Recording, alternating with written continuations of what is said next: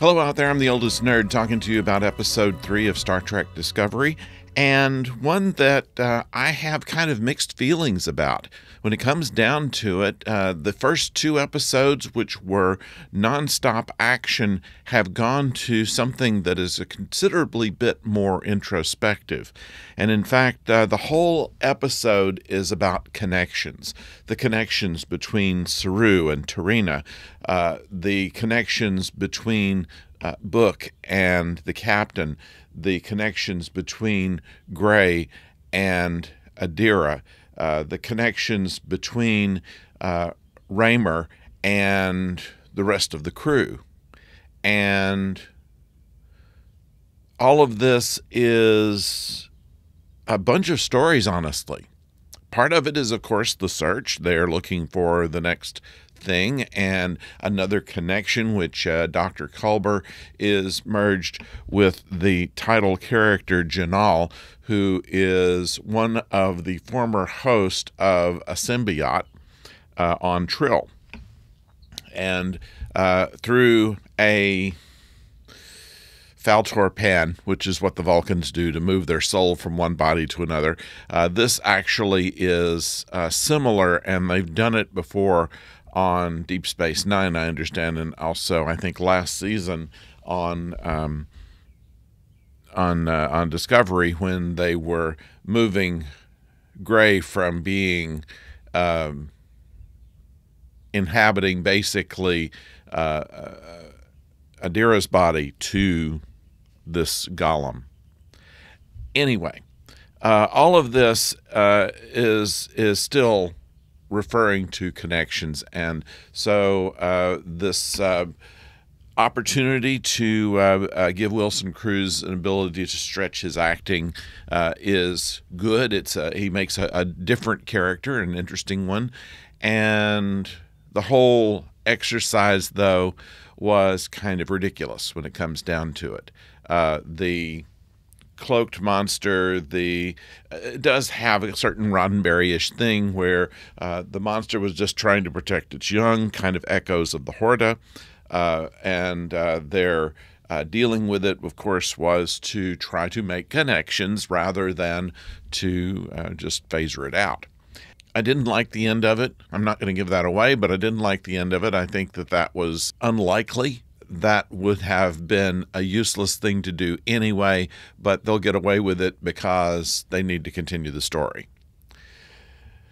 Nevertheless, um, I, I, think that uh, there were a couple of good lines in there. I loved uh, Jet Reno meeting with uh, Rayner, who uh, said, uh, Usually when I do these things, I get chips.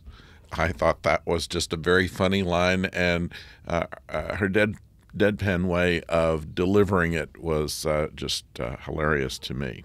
This was kind of a connector episode. It was kind of necessary to keep the story going. Uh, in and of itself, I wasn't terribly entertained by it. Uh, I, we get to know a little bit more about Rayner. Uh, he's kind of a Jellicoe type. He's a get down to business kind, is not going to work too hard to try to buddy up to people. That's not his style. And okay, a lot of people hated Jellicoe in the uh, TNG episode.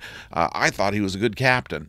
And in fact, uh, despite the fact that he was a little harsh, I think the reaction to him was kind of juvenile. This is the one time when I thought uh, Riker was overplayed as being a, well, you're not Picard, therefore you're nobody. Uh, it, it was like throwing a, throwing a tantrum and in in this episode it's uh, it's Tilly that's taking on that. Well, you know, we're all a bunch of of uh, you know hugging people, and and you're out there giving them 30 seconds and 20 words to to describe themselves, and uh, that's just not the way this crew rolls. Well, you know, this is Starfleet. Despite the fact that Rayner only had 30 seconds and 20 questions, uh, 20 words with these people. He uh, was able to retain a great deal about all, all the ones that he mentioned. And uh, I think that he is going to have a pretty good knowledge of the crew and their capabilities, interestingly, uh, but uh, just not outwardly look all of that um, hospitable. So uh, we'll see where that goes, and if it makes any difference at all, I think that it may be just uh, uh, if there's anything in here, that's uh, that's probably it.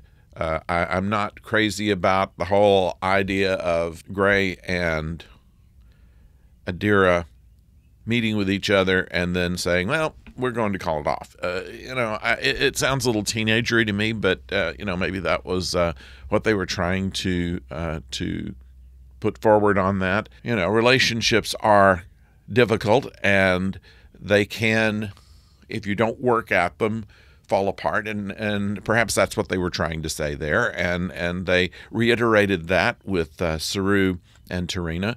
Uh, T'Rina puts very uh, matter of factly that uh, there is always going to be conflict in relationships, and how you work through them is what makes them work. And I thought that's pretty good. I, I will. Uh, I'll give T'Rina the point there. No wonder she's the uh, president of Ni'Var. So I suppose what I want to do is uh, give this a gentleman's see. It was okay. It was pretty good. Uh, it was just not. Uh, it wasn't terrible, but it wasn't anything that makes me say, "Hey, you need to watch this." So that's that's where I find uh, this episode called Jinaal, and I hope that um, you will be along to uh, see what we have to say about the one we have next week. Um, also dropping today is a, a, review that we have on this uh, new show that's just uh, come out on Amazon Prime called Fallout, and uh, we'll talk about that today. And uh, then um, we'll go back to our regular run on Monday of Babylon 5, Deep Space Nine, and The Bad Batch, and then back here next week. So please subscribe if you have not done so already. Leave me comments in the uh, in the space below, and until next time, don't go far.